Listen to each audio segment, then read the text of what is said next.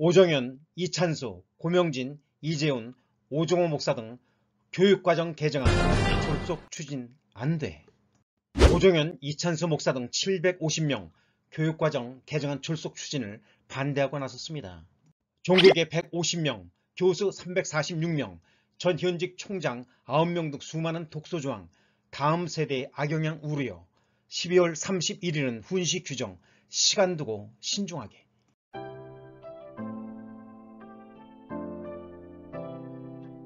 종교계 학계, 법조계 등 사회 각계 지도층 인사 750명이 서명한 2022 교육과정 개정안의 졸속 추진 중단을 촉구하는 성명서가 29일 대통령실에 전달됐습니다.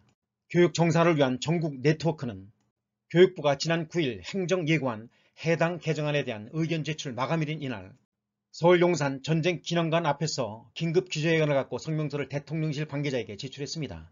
기자회견에 참석한 기론평 교수에 따르면 이 성명서에는 종교인 150명을 비롯해 교수 346명, 전현직 총장 9명, 전현직 교장 13명 등 750명이 서명했죠.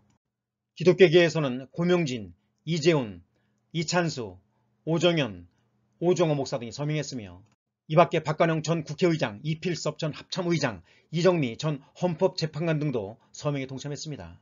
이들이 서명한 성명서는 교육부가 행정예고한 2022 교육과정 개정안에 수많은 독소 조항이 있어서 다음 세대에 악영향을 미칠 것을 우려한다는 내용을 담고 있습니다.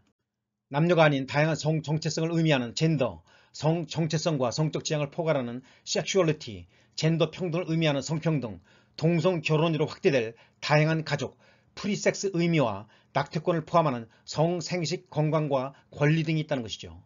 다만 행정예고안에서 성평등이라는 용어는 빠졌는데요. 성명서에는 또한 특정 이념을 가르칠 우려가 있는 민주시민교육, 반윤리 행위까지 정당화할 우려가 있는 다양성 존중교육, 개인의 자유를 침해할 우려가 있는 인권교육 등이 교육과정 전반에 퍼져 있다는 주장도 있습니다. 그러면서 이러한 잘못된 교육을 백지 같은 마음을 가진 초, 중, 고등학생에게 가르치면 청소년, 트랜스젠더 등이 증가할 우려가 있다고 밝히고 있습니다. 성명서는 서구의 일부 국가들은 이런 교육의 위험성을 뒤늦게 깨닫고 급진적인 젠더 교육을 중단하려고 하는데 한국이 실패한 젠더 교육을 성급하게 도입할 이유가 없다며 다음 세대를 위하여 2022 교육과정 개정안에 대한 논의를 신중하게 진행해 모든 독소조항을 삭제해 주길 요청한다고 했습니다.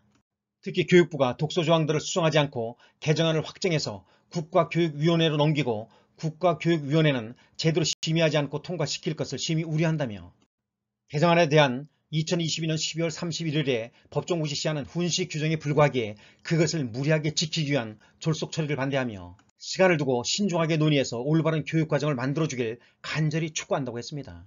의견 수렴을 마친 행정예고안은 국가교육위원회에 상정돼 심의, 의결 절차를 거친 후 교육부 장관이 확정 고시합니다. 오늘의 양식 키포인트 바이블 잠언 22장 6절 마땅히 행할 길을 아이에게 가르치라 그리하면 늙어도 그것을 떠나지 아니하리라 오늘도 성령님과 동행하며 축복받는 하루가 되시기를 기원합니다. 크리스찬 튜였습니다.